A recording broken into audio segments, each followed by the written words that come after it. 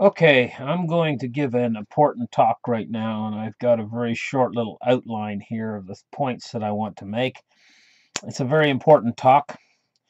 First thing I want to, uh, I'm going to lay it all out uh, very carefully. And uh, the first thing I want to talk about is how this all got started. Uh, the It really got started back with the Federal Reserve Bank, back about a little bit over 100 years ago they set up a monetary system that was designed to work um, uh, with growth, uh, designed to work with credit expansion. Um, every monetary unit that they created had debt attached to it, and they only created the monetary units. They never created the money needed to pay the debt that would, would accrue. Uh, So this system will work okay. Um, it provided that everything continued to expand around the globe. Businesses would expand, everything would expand, credit would expand, and it would keep expanding and expanding and expanding. And this system will work okay. Keep expanding the money supply, keep expanding the growth, keep expanding industry, keep expanding everything. And this system will work. But the world is what's called finite it means that they can't expand forever. Eventually, they get so they surround the entire globe with industry, and every last field has been burnt, every last tree's been cut down, every last uh, nugget of silver's been mined out of the ground, every last barrel of oil's been dug out of the ground, and, and in the end, there's nothing left except a burnout wasteland of a planet. This was the system that was designed by the Federal Reserve and it has to function this way. It's basically it's an enormous Ponzi scheme. That's what it is. Okay? So let's get that straight. And that it relies upon credit expansion. Uh, these credit markets, they move in a wave pattern. They have a cycle, up down cycle, like a wave. That's how all the markets move. They move in a wave cycle. But because of this credit expansion, this wave cycle with exponential growth, it's constantly going down and the bottom's never lower than and it's always the top is a little bit higher and then the bottom is not quite as low as it was before and then the top is a little bit higher each time and the bottom's not quite as low and it keeps going up and up and up now if you look at the stock market and look at it back to say 1910 or well no not 1910 but say 1925 say go back to 1925 with the stock market. And uh what you'll see is this this growth wave going all the way up to where it is now. It's just it's just constantly bigger and better and brighter every time it comes down and it goes back up and that's the way all of it works. It all works the same way. It all works in a wave pattern. So once you understand that wave pattern, and it's that wave pattern is now see I'm saying wave, right? Now can you think of something else that sounds like a wave? Water. Water sounds like a wave. And they say the flow of money. Right? They call money liquidity. It's liquid. It's a liquid asset. What's other what's another liquid? It's water. It's water. It flows like water. It flows and ebbs in and out like water. It's like and it, it follows tidal patterns as well. So what happens is if we had these graves, waves of growth and contraction, and and we called them recessions. The contractions were called recessions, and then we had the periods of growth and so on. Okay, so get that straight. Uh,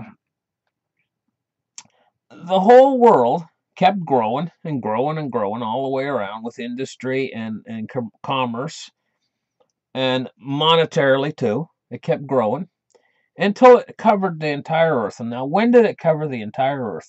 And it just got to the point where the contraction finally there was a contraction instead of exponential growth we got to the point where the whole earth was saturated with exponential growth, and we finally hit the point where there was a contraction of everything.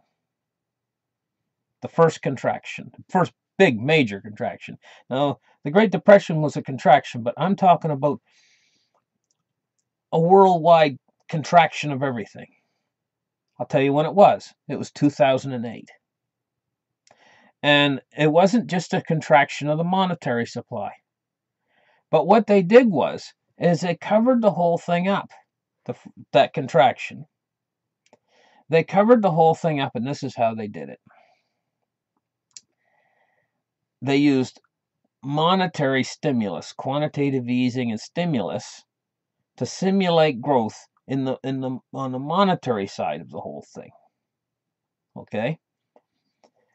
And that worked in conjunction with China simultaneously, creating real growth, but in craziness, building bridges to nowhere, building cities that are to this day empty. They're called ghost cities.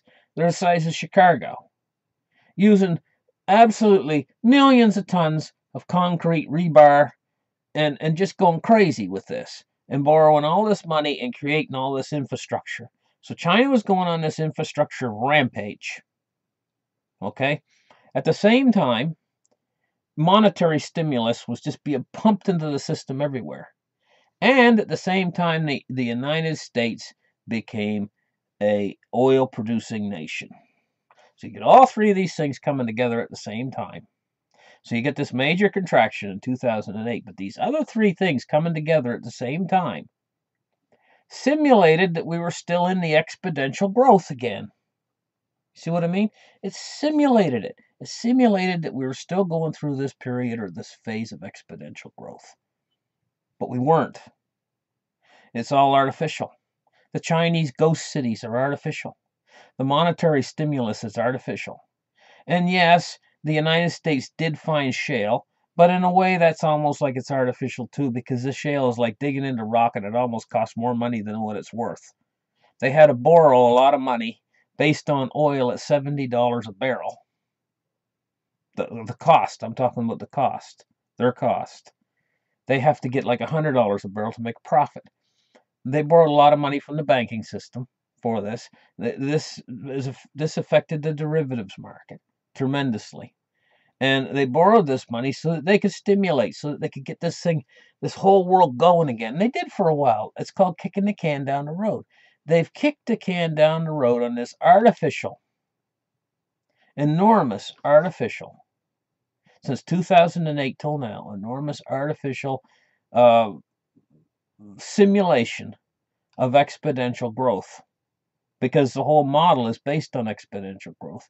They've kept the ex exponential growth going artificially. But at this point, it's all done again on credit. And if you understand credit, the opposite side of the coin of credit is debt. And the thing flips over that fast from credit to debt, credit to debt. And so basically, what they've done is they've put the whole world in a state of complete and utter debt. It's a Ponzi scheme, and all Ponzi schemes hit the wall in the end. So, what are they going to do? What they're coming to is an inflection point. So, where are we on this uh, thing here?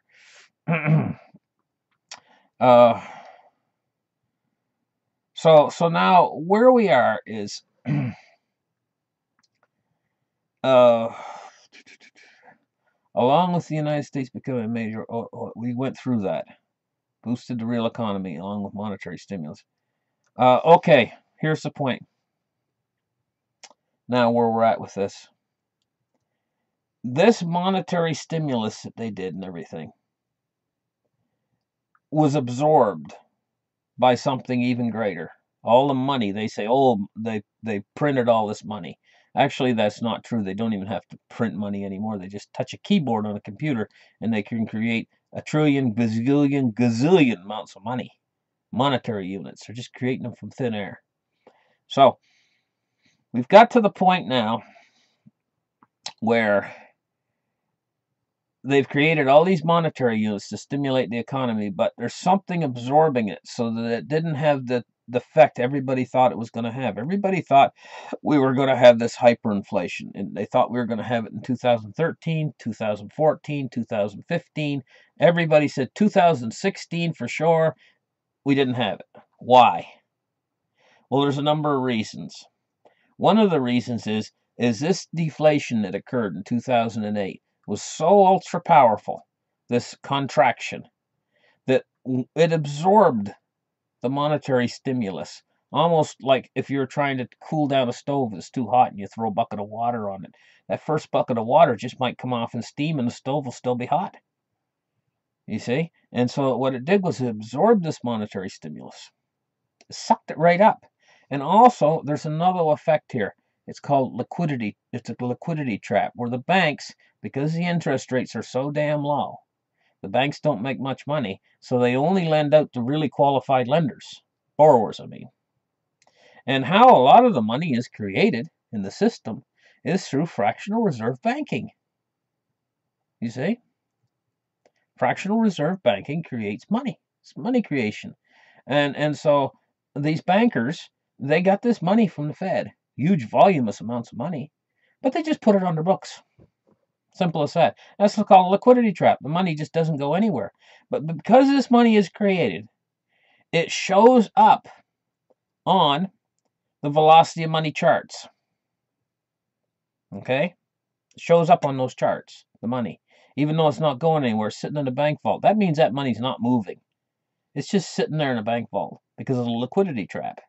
So the money's sitting there in the bank vault, it's not moving, and it shows up on the on the charts as as uh, as the uh, of the velocity of money. It shows the velocity of money falling off a cliff.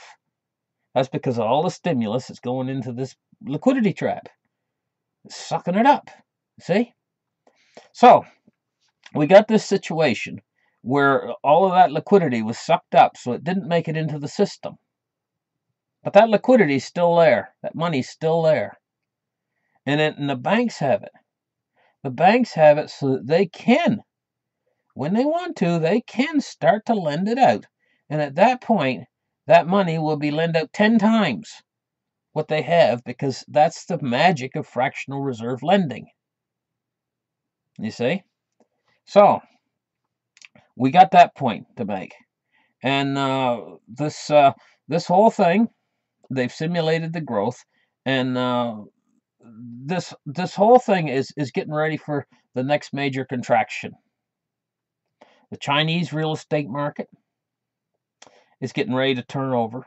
The American real estate market is getting ready to turn over into a contraction. Everything is setting up for an enormous contraction. And Europe is just a boiling trigger for a contraction. But do not underestimate the determination, the absolute determination of the world's central banks. This contraction that's coming is going to act as a trigger. And it is a deflationary event, enormous deflationary event. And Europe Europe is, is just primed to set this contraction off with banking problems in Europe and stuff, and, and all the all of the governments that are ready to fall in the European Union, and the whole Europe's Euro, Euro is ready to go down the toilet hole, and so this is just ready, ripe and ready to set off this contraction, and the Chinese real estate markets just everything's just primed to set off this contraction. But do not underestimate these world central banks. These central banks have already told you. Ben Bernanke's already told you he said that we have the tool to fight deflation. He said if we have to, we will fly over with helicopters and we will dump $100 bills out of the helicopters. I mean, what part of this do these these these people? Some of them are are uh, are very very uh, uh, skilled uh, economists, and they understand a lot about the economy. But what part don't they understand that the central banks have already told them that they're not going to allow this deflation to go very far? It can act as a trigger. The deflation can act as a trigger to start the next phase from the central banks, but they've already told you what they're going to do. What aren't you understanding? What don't you get? What isn't getting across? They've told you they'll dump money out of helicopters if they have to. But they're not going to dump money out of helicopters if they're not triggered to do it.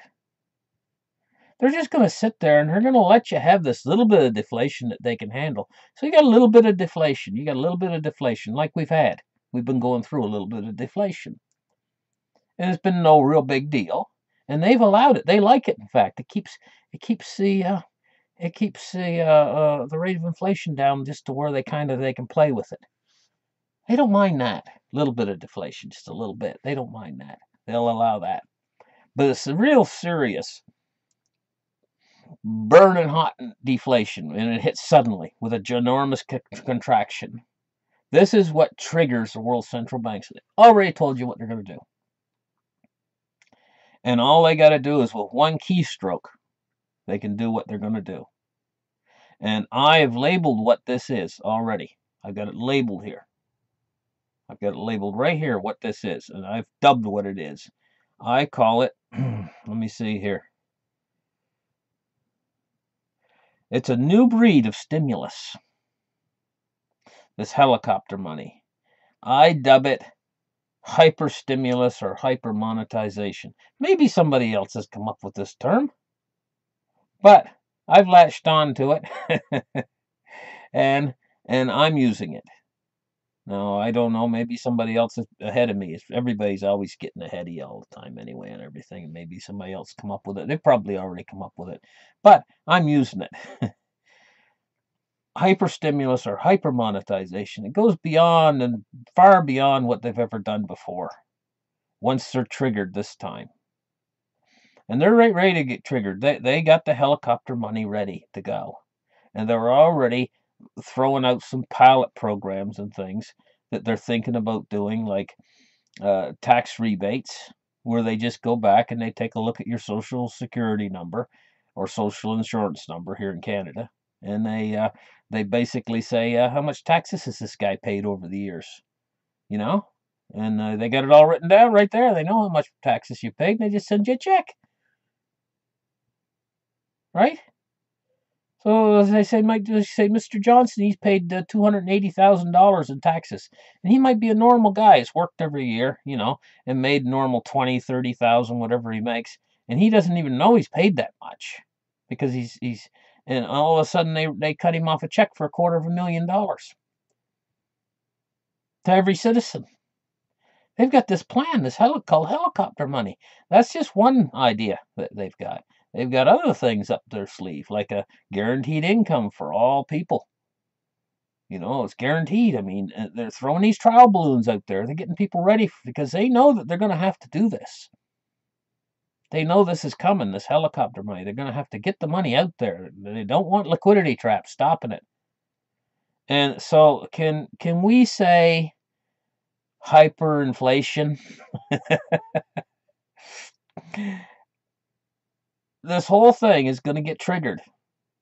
Now, what I want to talk about is one of the ways that they've used to, to hold this off for as long as they have, and possibly some of the reasons why it didn't come in those years like 2012, 2013, 2014, 2015, 2016. Why it didn't come is uh, uh, is is is what the Amer- what they what they did first to protect the dollar. What they did to protect the dollar. It's amazing what they did to protect the dollar. The dollar index was going down, down, down, down, down, down. And I'm going to tell you something. If the dollar index goes below 70, big trouble ensues. Right? If it goes below 70, and they know it. So uh, there's a direct correlation between what they did and the dollar index. See? It's a correlationship. There's a correlationship between the dollar and oil because it's the petrodollar. But the, the, the dollar is also linked uh, into gold and silver, uh, but not as much as it's linked into oil because that's why it's called the petrodollar because it's really linked into oil. The, the value of the dollar, the US dollar.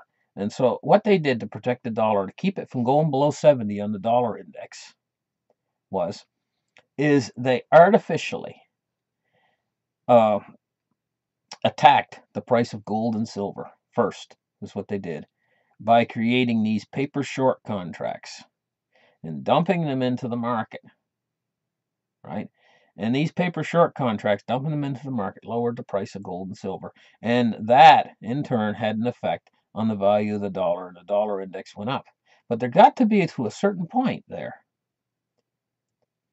where the dollar index wasn't being supported enough by what they were doing with the gold and silver. And that's when that they that they used oil.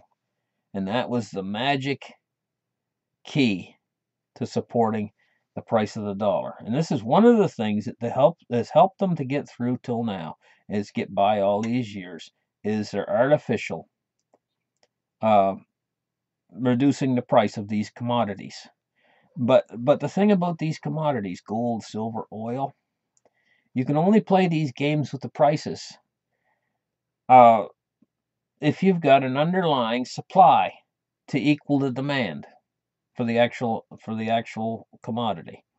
So like with silver, eh, sure, you can play these prices. I mean play these games as long as you've got the underlying physical silver there to supply demand for the people who who want to actually purchase physical. So you can play these games, and you can play these games with the price as long as you've got that underlying supply. And it's the same way with gold, and it's the same way with with uh, oil. The jig's up. The game ends when there's not enough of the underlying supply to to to meet the demand for the physical. Uh, and and so with gold and with oil, uh, they've got it covered for a while longer. They can play these games for a while longer with gold and with oil. Um, but where they're finding it hard is with silver because uh, I uh, the the the actual physical supply has been dwindling over the years. Uh, they had uh, I think it was back in, in, the 1980s or something. They had something like 13 billion or something ounces of above ground physical supply, and in, in that they it accumulated for thousands of years. Industry's been gobbling it up year after year. And it's not coming back. Uh, if in when they use it up in industry, they use it to make things like uh, solar panels and and uh, all kinds of different things. Even your socks and your shoes you're probably wearing right now got silver in them. They use it as a disinfectant uh, to stop germs. Uh, there's all kinds of uses for silver. It's in every cell phone. And this is gone. It's gone. Uh, that was they were having enough supply coming in uh, to to supply industrial demand. They still do have enough supply from the mines coming in to, to supply industrial demand. Uh, a lot of the silver that they get comes from copper mining. So anyway, to make a long story short on silver is is uh, is uh, they're slowly but surely running out, uh, and and uh, and and there is going to come a time, not too distant future, where they can't control the price of silver any longer, because they're going to run out of the underlying physical supply.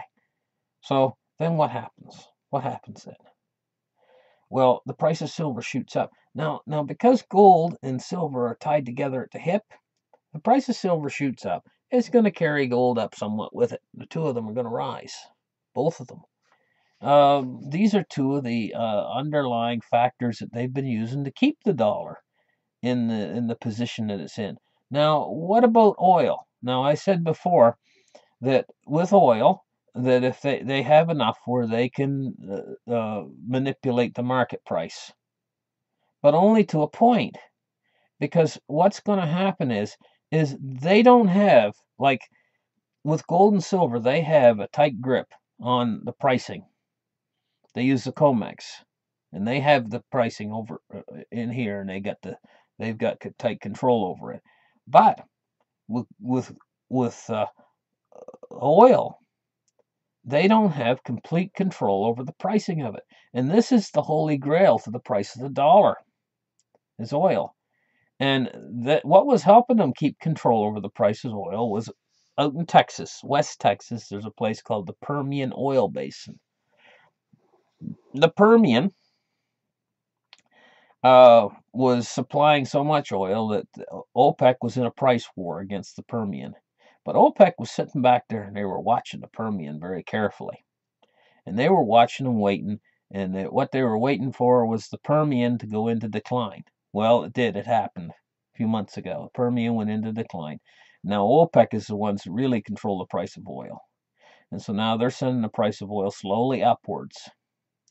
This is going to have a profound effect on the US dollar because it's also combined with the price with them running out of the underlying supply of silver and the price of gold go, starting to go back up again because they they had to sell a lot of physical gold through rehypothecation in order to keep these prices down. And a lot of that's gone to China now and China ain't giving it back. So what we're ha- what's happening here all the way around the whole periphery of this whole thing they're hitting the wall.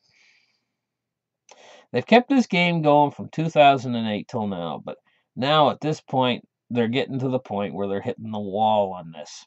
So all you people out there has been waiting for 2013, the crisis, 2014, 2015, didn't come, didn't come, 2016. 2016 comes and goes, and what happens to you?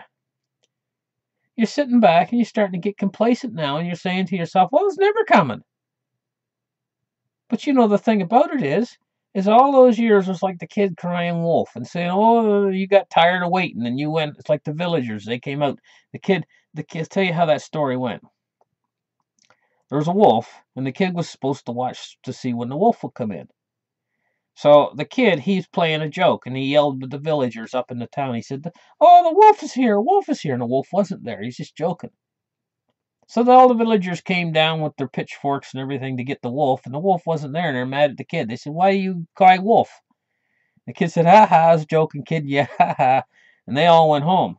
So then the kid did it again. He's supposed to watch for the wolf, and the kid yelled, cried wolf again. And they all came, all the little villagers came out again to get the wolf. No wolf, and the kid played joke a second time, and he laughed at them. And they were mad this time, so they went back home. So the third time the kid yells, Wolf, wolf, not one villager came because they cried wolf. Well, that's the way with this this crisis. They've been crying. 2012 they were crying. 2013 they were crying. Didn't come. It didn't come. 2014, 2015, 2016 didn't come. Didn't come. Didn't come. It's like crying wolf. And now what's happened is is everybody's starting to get complacent.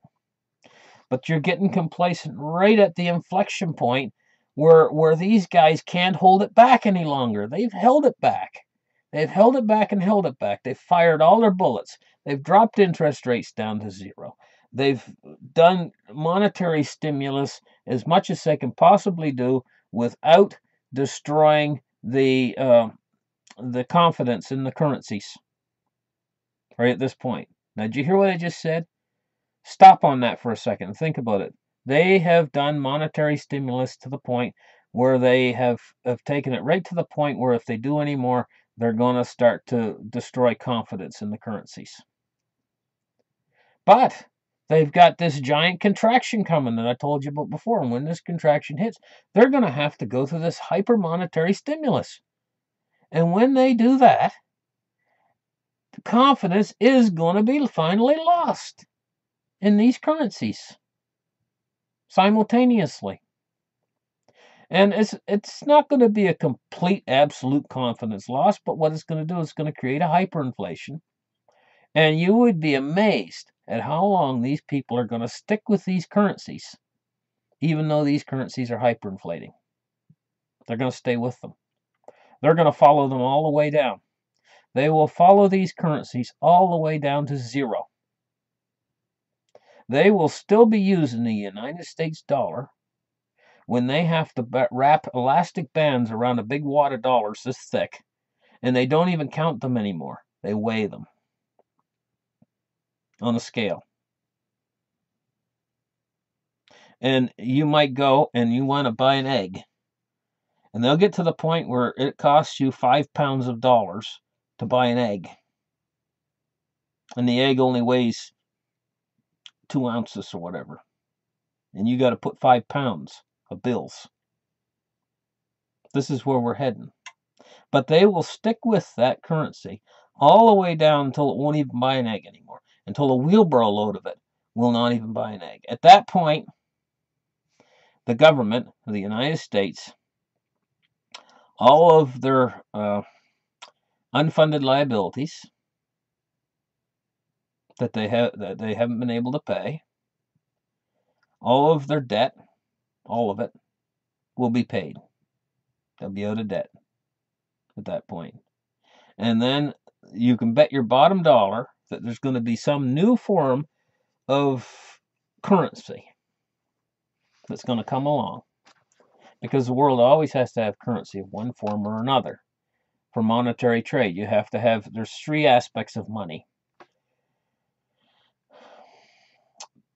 Three basic aspects of money, according to me. Now, other people might, they might give you five assets or whatever, but I'm going to tell you the three basic assets of money, that the, uh, uh, the way I put it.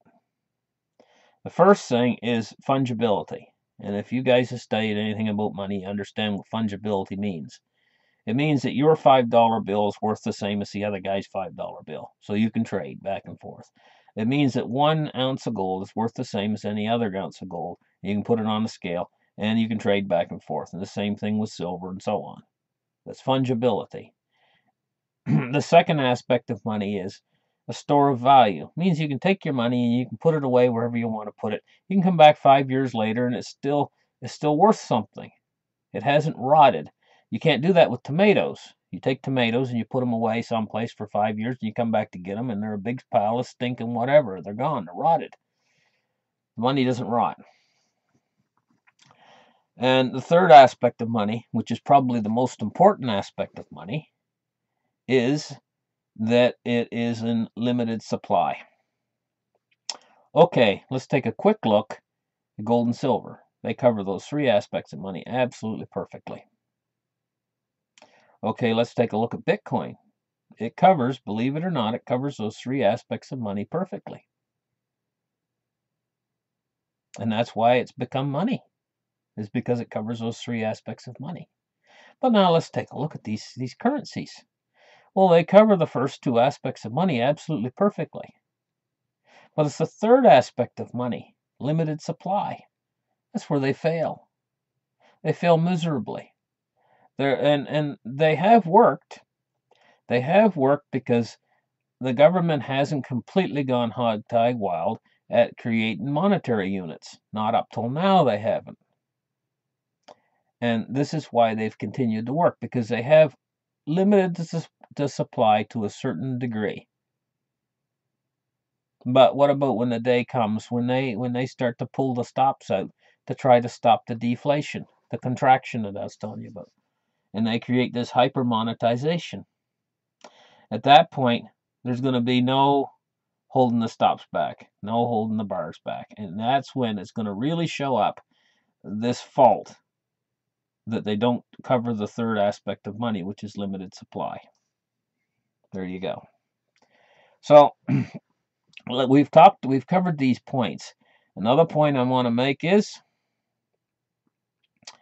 uh, if they were to allow, let's just follow this line of reasoning to its conclusion. Uh, about there's these uh, economists out there who believe we're going to have deflation. So let's just follow this a little bit further. What if the government did decide that they were not going to print all these enormous amounts of money, that they were going to let the contraction happen, and which would be the right thing to do, by the way. The wrong thing is to create all this money, but that's the easy way out. But when has the government ever did the right thing? They're not going to do the right thing. They're going they're they're going to they're not going to do the right thing which is which is to allow the contraction to happen. So when the contraction occurs, right, let's follow the line of reasoning if the government did do the right thing and they didn't try to stop the contraction, what would happen? Well, can you just imagine it? Uh, the, the that uh, the the prices of everything would just plummet. Then you really would have uh, your seven hundred dollar gold, but it wouldn't even stop there. Seven hundred dollars an ounce. Drop 600, 500, 400, 300, 200. And what about silver? Silver wouldn't stop at twelve dollars. You go down ten nine eight seven six five four three two, uh, two two bucks, and gasoline do the same thing. Gasoline wouldn't stop at at at at uh, a dollar a, a gallon in the United States. It dropped back down to where it used to be when I was a kid. I remember seeing gas for like 25 cents a gallon. So, so you know, I mean, this is what would happen. You'd see 25 cents a gallon gas again, or even cheaper. So now you get all these old people, social on Social Security, you know, and they get their Social Security check every from the government every. Now, can you imagine what would happen with these Social Security checks? You know, they're still getting the same amount of Social Security. They're getting like, like whatever they're getting now. It's they're getting it, and it just the buying power would be tremendous. Holy cow! This would be unbelievable. They would be able to go out and buy five cents a pound bananas and and and and 15 cents a gallon gas and they would only use like $50 a month to live on and all the rest they could bank. And silver at and, and, and silver at three dollars uh, an ounce. You know and gold at 200 bucks or something. Imagine how much money and and the government couldn't cover this. You got to be joking. They couldn't even come close. The government would go broke in no time. So then what would you have? They wouldn't be able to send these Social Security checks to all these seniors. You would have a mob, an enormous mob of seniors with their canes over their head, waving their canes like this, coming into Washington. And they would quite literally beat the politicians with these canes. Smack, smack, smack, screaming at them at the same time. Old ladies with canes beating the politicians over the head with the canes. Where's my check? Do you really believe the politicians are actually going to go that route when this when this crisis comes? When Europe starts to go down the drain, down the toilet hole, and and the banks are going down the toilet hole, and everybody's going down the toilet hole. All all the banks over here tied into the banks in Europe, and we're talking about an enormous implosion, implosion of the system an enormous deflation. A deflation like these certain economists who believe in deflation, a deflation like is in their wildest dreams. That's what's coming. An amazing deflation.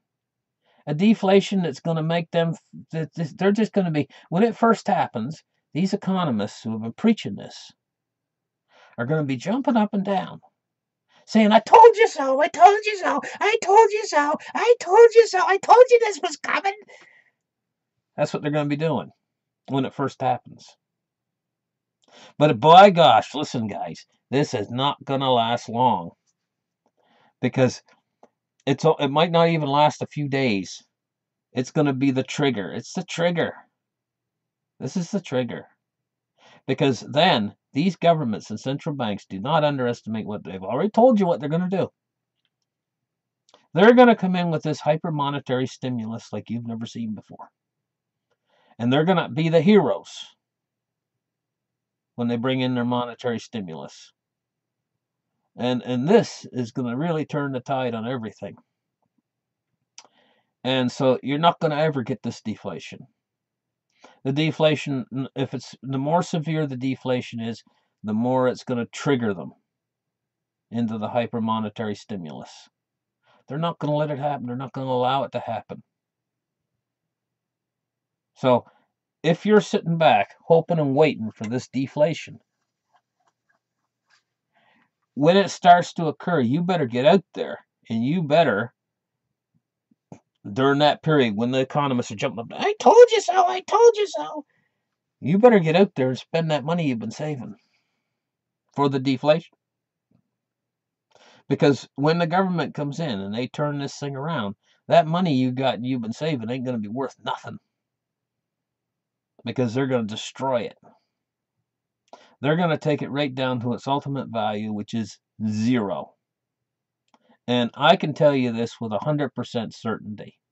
So if you got this question, you're saying to yourself whether it's going to be deflation or, or inflation. Well, the government's already told you what they're going to do. Helicopter Ben's already told you. So I'm not going to go over this any longer. I've kind of belated the point. And and perhaps it needed to be it needed to be it needed to be pounded so that you understand that this is the way it's going to really go. Ultimately, this is where it's going to go. Uh, so we've covered that point. Uh, also, I want to make the point that uh, that the Earth now is past peak gold and peak gold and peak silver and peak oil. We've passed all that now at this point. And you might have these people out there say, "Oh, we've made a new oil discovery. We've discovered uh, enough oil to last into the 23rd century." It's all hype. It's all baloney. They're just looking to get funded so that they can make projects and dig for that oil. And then they're going to take a cut off of all that.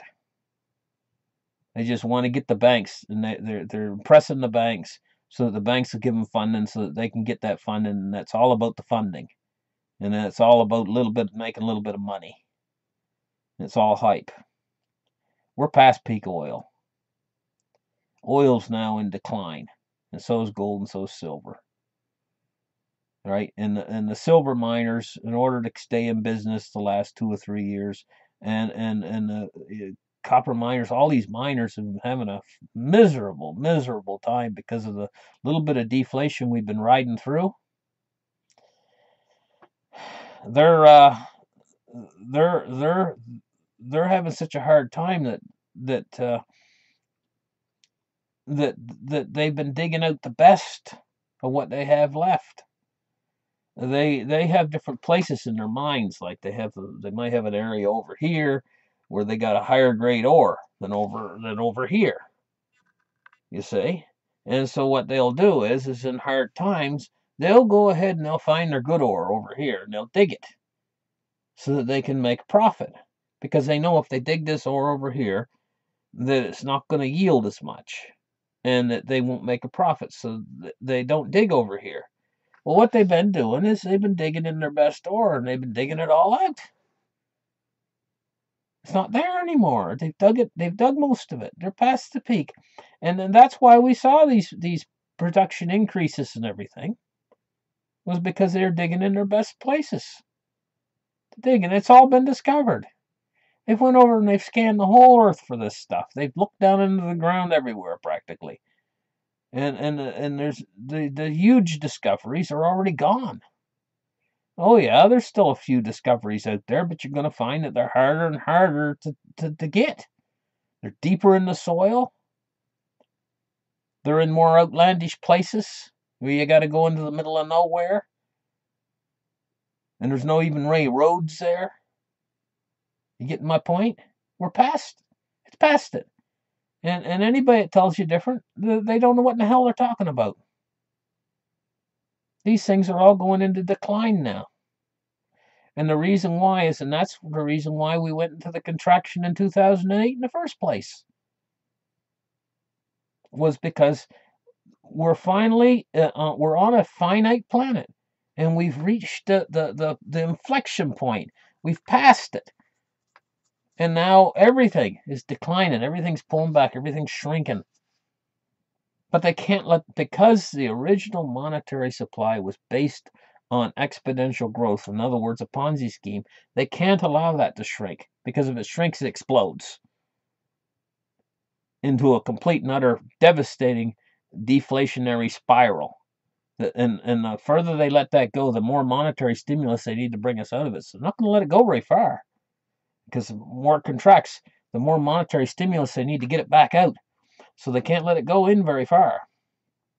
See what I mean? They can't let it they can't let it shrink very far because it'll get so hard for them to bring it back out. It'll take ooples, ooples, ooples amounts of money, and then they'll destroy the value of the money.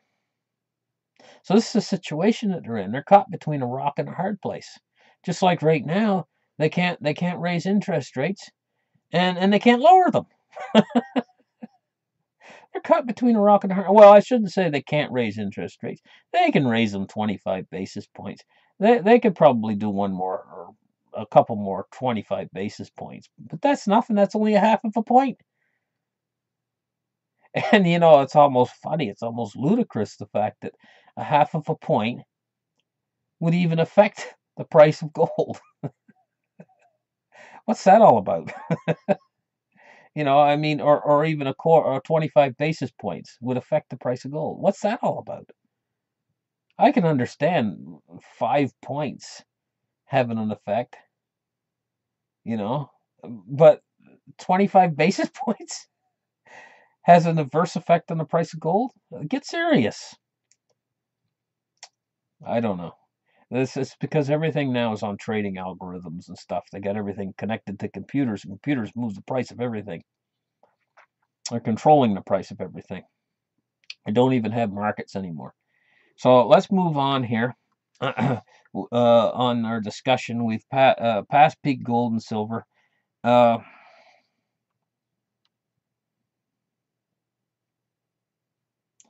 yeah, and and it's because it's because these guys are greedy. That's why they give you these overestimates of what's in the ground for gold, silver, and they want they want to get funding from the banking system.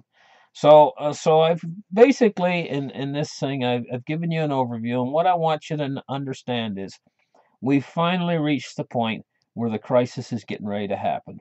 Probably within the next 18 months, probably sooner than that, probably within this year. And there's so many things coming at us that could actually trigger it, not just Europe. It's getting ready to happen, and you better batten the hatches.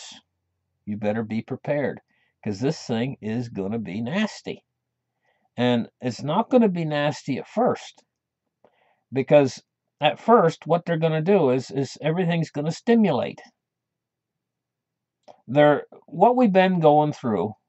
Uh, we've been going through a period of deflation, but it has only been moderate deflation. It's been controlled deflation, and and it's been going along with a bit of stagflation along with it this period is, is coming to a close. And we've been able to deal with it, but it's it's not felt good. They've been calling it a a, uh, a recovery. It hasn't been a recovery. It, it, everything fell down in 2008, and the whole thing's just been bottom bouncing along ever since. And and it's it's been a it's it hasn't even been a recession. It's been ever since 2008 till now it's actually been a depression. We've been in a, a, a, not a real bad depression but we've been in a depression since 2008 till now. This is not really dangerous. It's not a collapse. It's not a recovery it's it's it's got stagflation and it's it's it's miserable uh, people are out of work. The, the economy is not recovered. People know it's not recovered if they're really out there looking at it, you know. And so we've been suffering through this. We're nearly through this period. And now what's going to happen is, is when they open the floodgates of money really open them up with this hyper monetization, things are going to feel good at first. It's going to create jobs it's going to feel good. It's gonna it's gonna be like like a dose of uh, for a heroin user, like getting a dose of heroin. They feel good when they first get it, and that's what the economy's like. The economy's like a drug user. It's been on drugs all this time, but they haven't been getting their dose, and right now they're going through the the DTS or whatever when they're they don't feel good and they're shaking all over. They need a dose. That's because they've been going through this period of deflation. It's almost over. And this little trigger that's coming that's going to trigger the next contraction. That contraction is not going to, it's going to be so short lived that it's not even hardly worth talking about. But like I say, these economists are going to be jumping up and down, going, we told you. It's going to last long enough for them to jump up and down a few times and yell, We told you. We told you it was coming. Dow's going down. Everything's going down. You know, crashing. Everything's crashing. You know, the, the, the, uh, the the dollar's crashing, everything's crashing. They're going to be just saying, "We told you so. We told you so." But it's only going to last a very short period of time before the government comes into the rescue. And it's going to be all over the television when it happens, just like it was in 2008. Well, maybe not now. It might be on all over the television. It might be on the internet. but it's going to be there, and you're going to know it's happening. And they're going to tell you it's a crisis, an enormous, gigantic crisis. And this is going to give them the reason that they need to open the floodgates of money. And when they open those floodgates of money, man, I'm going to tell you at first, it's good. After going through this deflationary period, it is going to feel good. But it's not going to last real long either. And that's when you're really to, the world's really going to hit the fan they're really going to have the problems. And then you're going to have the real hyperinflation, not just fake hyperinflation, people saying, oh, it's coming next year, we're going to have hyperinflation. No, no, no, no, no. This is going to be the real stuff. This is going to start out with high inflation at first, but then it's going to get worse and worse and worse. And ultimately, it's it's it's it's coming, boys. Now we've got it really coming. So I wanted to give you guys this talk to let you know and kind of just kind of set the stage for you so you'd understand the dynamics of how this whole thing's going. And I've tried my best to, to really help you to understand how this how these dynamics are working out there right now and how it's leading to a crisis and then to and, and then to a hyperinflationary problem that's going to be worldwide. Uh, thank you very much for listening and uh, su uh, subscribe and uh, and, uh, and and like my channel and give me a thumbs up. And I really enjoy making these videos for you guys. And I uh, I hope I did a good job of trying to explain how these how how this is going to function in the very near future. Thank you very much. Bye bye.